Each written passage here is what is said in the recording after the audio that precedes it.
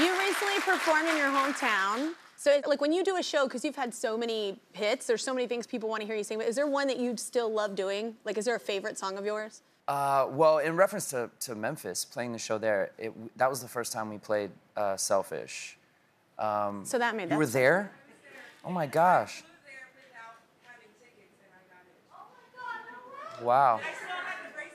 Oh my gosh. Well, Yeah, I, I, when I found out you were performing, I literally booked the flight, booked hotels, not knowing I was getting in. And that's why we have careers. And I Thank literally.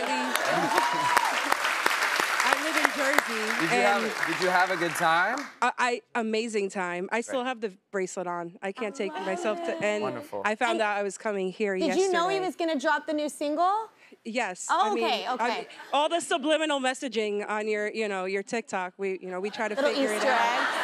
I like it. I like it. We're like CIA fun. agents, but yes, I it was unbelievable, and I can't wait to. Well, as we say in Memphis, thanks for coming. Thanks for coming. unbelievable. I'll do it. Come over on back over again. anytime you want. Well, so you did the new song there, Selfish, but what's like one of your favorite, like, like I always still love From the doing Miss? Independent. Yeah, like Yes. I, I always love doing You love doing song. Miss Independent. It's my first single, and I don't know why. I love it live. I love it live.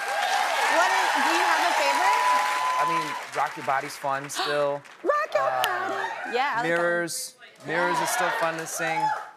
Although sometimes I'm like, why did I write this in this key? It's very high. That's what I say a lot. Um, yeah. yeah. 'Cause in That's why I don't go on stage fun. until like 9 p.m.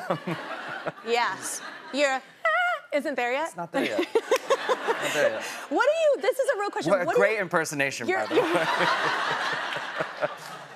I was trying to do my falsetto and I, or my head voice, and I was like, "Don't suck." Um, I enjoyed it.